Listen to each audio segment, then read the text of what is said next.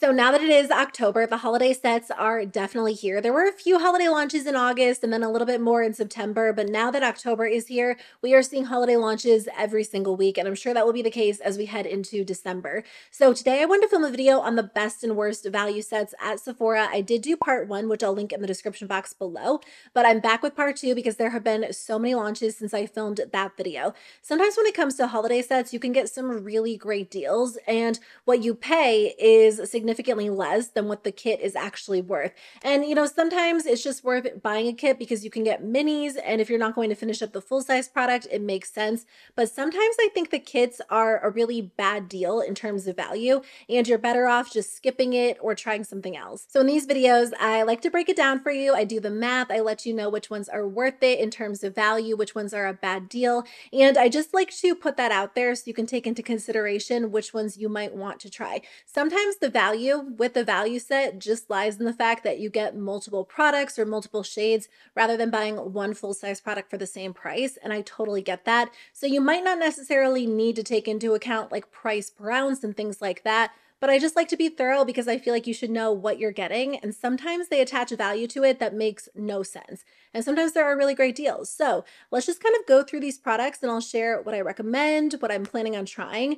and then some that I would recommend skipping over too. Let's kick it off with Summer Fridays. They have two different kits that features their lip butter balm, which has gone absolutely viral. I feel like these are sold out all the time because people love this product and I tend to see it a lot on TikTok. Like people are just organically using it in their videos videos or they're raving about it. And it is a really nice product. I have one and I do enjoy it, but I will say it's a little bit overhyped. Anyway, there are two different sets. If you've been wanting to try it out and you want like a variety of options, you might go with one of these. The first one is just called the Lip Butter Balm set. It's $49, but $72 in value. So these are normally $24. Like if you just purchased a full-sized version of this product, you'd spend $24. So basically for the price of two plus a dollar, you actually get three. So it's like buy two, get one free. So you get vanilla, which I think is basically like a clear, cherry, which has a hint of red, and then the new iced coffee one, which is available exclusively to this set. I do think that will kind of cause people to jump on this because you can't get iced coffee anywhere else. I like the idea of this set if it didn't have the vanilla one. I'm not typically a fan of clear lip balms. Like I do think there is a place for a clear lip balm or a clear lip gloss and I will use them on occasion. But when it comes to like a high-end product like Summer Fridays, I'd rather have one that has like at least a hint of color because I do wear these when I'm on the go and I usually like for my lip balm to just kind of tint my lips. That being said, I think this one is a really good deal in terms of value. Sometimes high-end brands are really cheap and they won't do like a buy two get one free value. They'll discount it a little bit, but not so much. So I was kind of surprised. I was kind of surprised to see Summer Fridays offer a really great deal like that, and I feel like it will sell out. Okay, the one that I'm more interested in trying that I think is a little bit more practical if you're not someone who needs like three full-size lip butters is their mini set. So this is $25. It comes with four minis. So each mini lip balm in here comes with five grams. The full-size product comes with 15 grams for $24. So this breaks down to be about $8 per mini lip balm or $32 in total. I think this is an instance where the value comes in the fact that you get four minis for the price of one full-size lip butter. If you're someone who likes to switch it up or you want to try different options without committing to like one full-size product, this is really nice because you can basically pay the same price and get four minis. So again, you get vanilla beige, or no, you don't get vanilla on the other one. You get vanilla, which is like the clear one. They say to use it as an overnight mask or on top of lipstick. Vanilla beige is the one I have. It's a beautiful, like warm, lighter nude. You also get poppy, which is a sheer coral, and then brown sugar, which is a sheer brown. $25 I think is a great deal. I'd rather do that than spend $25 on one and just get the chance to try multiple colors, multiple scents. So I might end up grabbing that one personally. I think I talked about a few Sephora favorite sets in my last video. I think the Sephora favorite sets typically break down to be a really good deal when it comes to value because you get a high value for what you pay for, but on top of that, you get the chance to try out multiple products from different brands. And a lot of the time they include like very popular, hyped up bestsellers. So I do think they do a good job with their kits overall. There's one that I thought was a really great deal the Sephora favorite set, this one is the Hairstyling All-Stars. And I think with most of these, you're getting enough product that you can use it a few times to see if you enjoy the product enough to go out and purchase the full-size version. Obviously, that depends on how much hair you have and how much product you use. But I think this is a good deal. So you get the Amika Perk Up Talc Free Dry Shampoo. That's something that I personally really want to try. It's about a two ounce bottle, so it's worth around $15. I've heard really good things about that dry shampoo, and a lot of you say that you like it. So I do plan on trying that at some point, whether I purchase this kit or I grab something else. I think Amika actually has a kit where they do like a full size dry shampoo and a mini. So that could be worth checking out too. There was another product in here. Oh, everyone seems to be talking about the Color Wow Dream Coat. It's an anti-frizz treatment. I saw a hairstylist using this on Instagram and it just like completely smoothed out their client's hair. So that's something that I've been curious to try as well. You get the Moroccanoil Dry Texture Spray. You also get the Olaplex number six, a Bumble and Bumble Heat Protectant, and then a Ouai Detangler. Definitely worth checking out if you're looking for a hair care set. Let's talk about a few sets that I don't think are the best deal in terms of value. The first one is from Charlotte Tilbury. Now, this one is not, the value is not inaccurate, but I feel like it's a little bit misleading. Like it could be let me just explain why.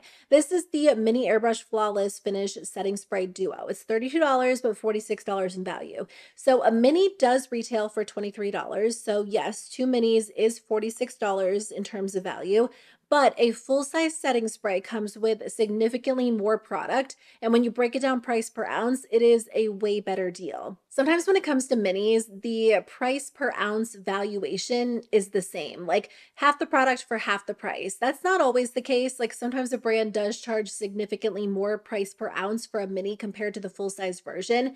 And I mean, I guess that makes sense. It kind of depends on the product. When it is something that I will use up fully, like a setting spray, like that's not going to expire as quickly as a lip product or a blush, I think it makes more sense economically to go with the better deal price per ounce if I feel like I will go through it. So full size setting spray comes with 3.3 ounces, a mini comes with 1.1. Now this set does come with two minis, so you're getting 2.2 ounces, but for $6 more than the set of the value set, you actually get one and a half times more of the product. I guess more simply put, like a mini breaks down to be $16 an ounce and the regular setting spray is $12.66 an ounce. So that is a little bit of a savings if it is something you go through fast. I know some people use setting spray every single day and go through it kind of quickly. Maybe you haven't tried it and you're just curious to see if it works for you. In that case, the mini option might be a better deal. And honestly, if you want an even better deal, then go with the value size because for $51, you get almost seven ounces and it breaks down to be $7.61 an ounce. So literally less than half the price per ounce compared to the mini set. So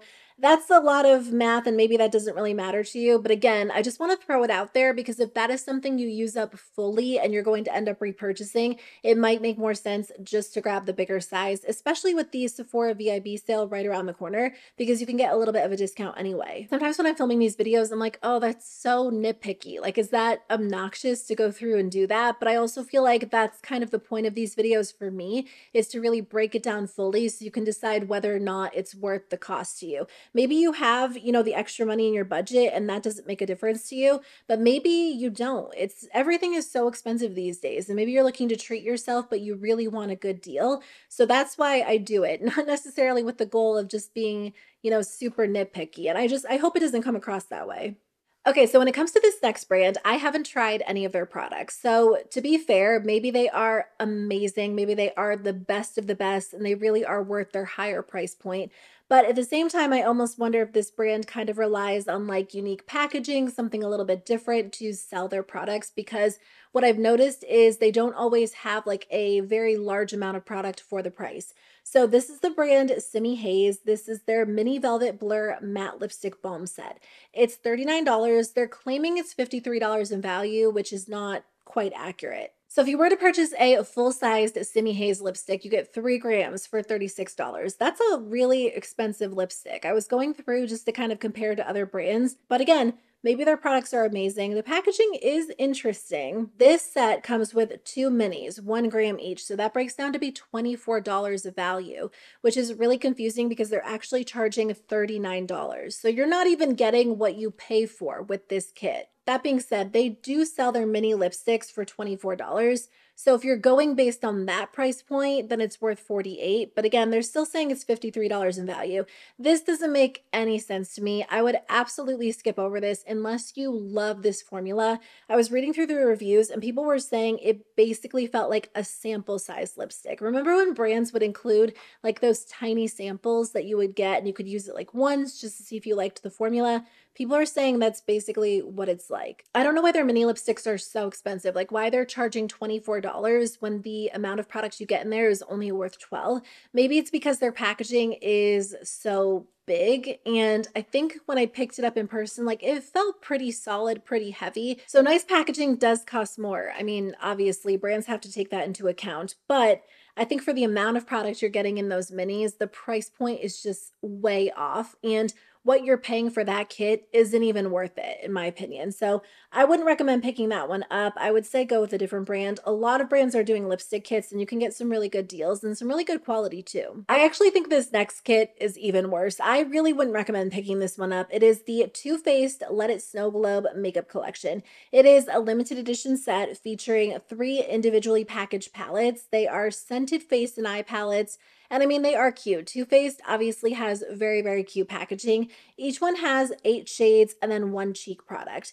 And to be honest, in the past when I've tried these, like even though the packaging was super cute, the quality was never that great. And I know some people don't like Too Faced anyway, but I do think their regular launches, like their permanent eyeshadow palettes, are a lot better than these have been for me in the past. They have to use different quality ingredients or like a full on different manufacturer for these palettes because they just don't feel the same. So they're claiming that this is a $306 value, which is honestly just funny because that would imply that each palette is worth $102. There is no way on earth that a Too Faced holiday palette, especially like a smaller palette like these, like you're not even getting a ton of product in here, is worth anywhere near $100. You're not getting much product in here. Each palette comes with 3.8 grams of product. And to be fair, like eyeshadow is not something I go through super quickly, but just for reference, their new maple syrup palette is also $54. So the same exact price for one palette, but this palette comes with 18 grams of product. So you're getting twice as much product for the same price. And honestly, I'm guessing a significantly better value just based on my experience with the Too Faced holiday palettes in the past.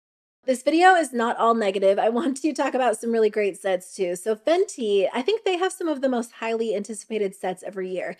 They are going to be launching, or you know what? I think they actually did launch a few additional ones that I'm not talking about in this video that I might touch on later, but they did launch a few lip gloss sets. So the first one is the Glossy Posse Volume 6 full-sized gloss bomb trio. It's $42 but $69 in value. Fenty's lip glosses actually come with a lot of product. You get 0.3 ounce 0.3 ounces in each. I have a few glosses in front of me. Let's see.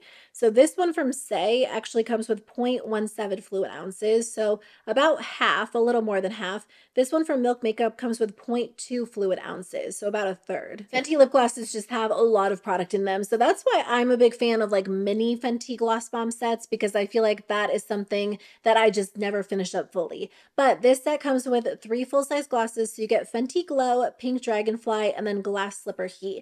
Based on what I saw when I looked it up, Pink Dragonfly was a limited edition set exclusive in the past, and then the other two are permanent. So there is a chance you might have those, but if not, and all three of those shades appeal to you, that's a really good deal because again, their lip products last forever. I'm just going to take some of this Saie Gloss and apply it on top because I've been talking so much. Fenty also launched their Gloss Bomb Vault, which comes with 10 full-size glosses. This comes with so much product. So it's $150, but $229 in value. And again, the value does check out. So this is a really good deal if you were to break it down, like price per product. I think this is something that could be really fun to split with someone, to maybe purchase as a gift and give to people in your life, although that is like an expensive set of lip glosses but still a good deal if you were to compare it to purchasing all of them separately.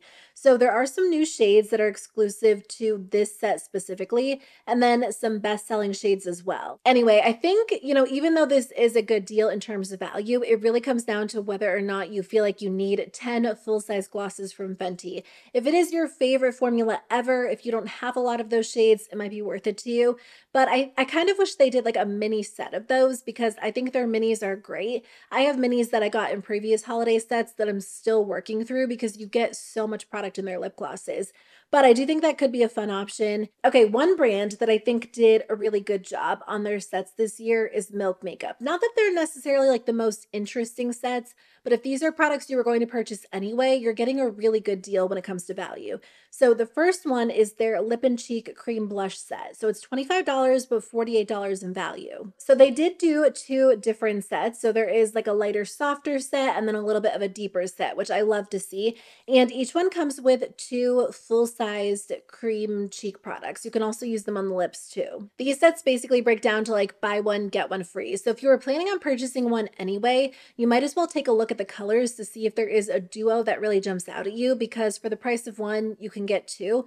And I do think the sets are kind of fun. So I like that they did a really good deal when it comes to these. I mean, the product itself is pretty small. And I know people have been complaining about the fact that Milk Makeup used to sell like bigger products. I think specifically when it came to their bronzers. And now they charge the same price or maybe even a little bit more for like a really small product. They look like samples, but they're not. Like you get enough product in there to last for a while. So again, I think it's nice they included two for the price of one, especially because you used to be able to get like a really big product for that price. They also did two different like primer setting spray kits. So the first one is the Hydro Grip Primer and Dewy Setting Spray Set. It's $40 but $62 in value. So the reason why I like this kit is basically for the price of the primer, you also get a mini setting spray and a makeup bag in addition to the primer. I think it's two more dollars than the primer, so the primer plus $2, but it's kind of nice because if you are a fan of the Hydro Grip Primer and you need to repurchase it, you might as well get this kit because you get a mini setting spray and a makeup bag in addition to it.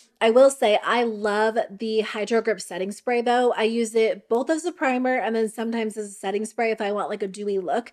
And it is a setting spray that I actually go through fully kind of quickly because it is so good. It doubles as a primer as well. And it does do a good job of locking my makeup into place and just leaving my skin feeling super refreshed, really, really hydrated. They also basically did the same thing with their Pore Eclipse Primer. So their Pore Eclipse Primer is also $38. So for $38 plus two, 40, you get a mini setting spray as well, and then the makeup bag on top of that. Okay, Kosas did a set of mini lipsticks. This one, you know, one thing about Kosas is they'll do a value set, but you don't end up saving a lot. Like if you were to break this one, I mean, I did break this one down. It's a $27 value for 25. It's the mini most wanted nude lipstick set.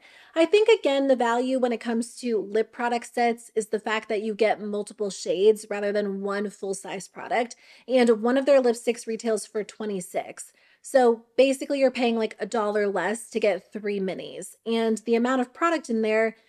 I think adds up to one full size product right around there. Honestly, I feel like they could have charged a little bit less for this. Like maybe they should have charged what would two minis be? Like $18. That way you're getting two minis and you're basically getting one free. So not necessarily the best deal in terms of value, but again, when it comes to lip products, I would rather have like minis and have more of a variety than one full size product, especially when it comes to Kosas because their products do tend to expire a little more quickly. They are clean beauty brands, so they don't necessarily use the same preservatives that a lot of other brands do. And I've heard people saying their products go bad so fast. I personally haven't really had that experience with the brand, but I've heard about it enough that I, I'm sure it happens. Anyway, I've heard good things about the formula. I think the colors they chose are pretty. I think when it comes down to value, there are other brands who did it a little bit better. But if you wanted to try that formula and you were kind of nervous that your lipstick might not last forever, like it might go bad, all lipsticks go bad, but that it might go bad faster than other brands, the mini set might actually be the way to go. Okay, that's everything I wanted to share with you. Thank you so much for watching. I hope this video was helpful. Keep in mind, in the end, you know, whether or not something is a good deal kind of comes down to whether or not you'll use the products or all of the shades within a kit. If you think something is a great deal and you're only saving a dollar or two, maybe it is worth checking out. It totally comes down to personal preference and just lifestyle and how you like to wear your makeup products. I just want to be able to steer you in the direction of products that, you know, are worth checking out. Like if I, I don't want you to get ripped off in the end. Makeup is really expensive and there are some really good deals happening this time of the year. So if a brand launches something and it's not a great deal, I just want to be able to point that out so you can save some money if that's something you're looking to do. But I really appreciate you being here. I'll definitely film a part three because I'm sure there will be more kits coming out soon. And I will see you very soon with a new video. Bye.